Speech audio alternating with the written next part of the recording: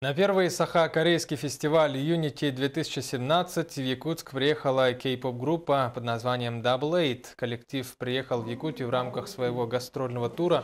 Как сообщили руководители группы, Якутск – единственный город в России, который они посетят. На их концерте впервые прозвучат песни из их нового альбома. Далее в планах группы Малайзия, Таиланд и Филиппины. Кроме того, на фестивале будут представлены конкурсы кей-поп танцев и рисунков – будут проведены командные батлы, игры на хамусе и многое другое. Об этом сегодня говорили на специальной пресс-конференции кей-поп группы в столице. Мы приземлились сюда, подготовили очень много. Я это немного знаю.